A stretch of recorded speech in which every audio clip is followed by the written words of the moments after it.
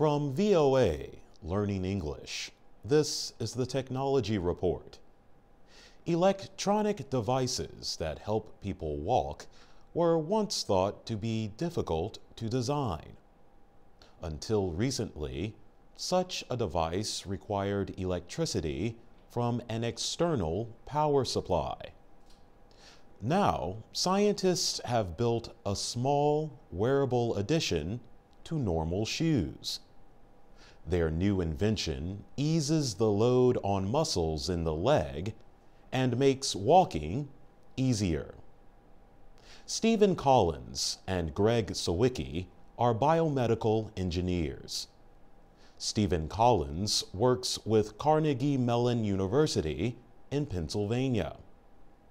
Greg Sawicki is with North Carolina State University. They both studied how human beings walk. They found that our ankles and calves perform motions similar to a spring joined to a clutch. In an automobile, a clutch is used to connect and disconnect a driving or driven part of an engine. The researchers found that those human body parts are able to both store and release energy, just like a spring.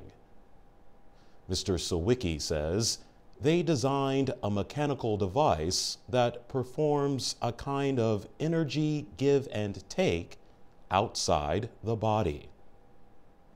Their new ankle exoskeleton device is made of carbon fiber and metal. It connects to ordinary shoes and takes over part of the work of walking.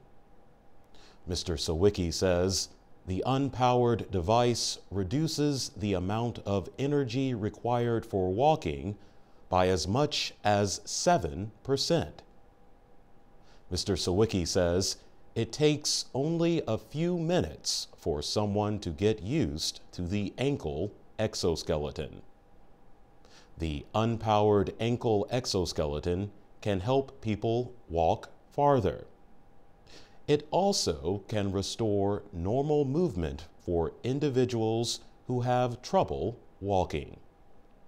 He says the device is mainly meant for people recovering from an operation or a stroke. For VOA Learning English, I'm Jonathan Evans.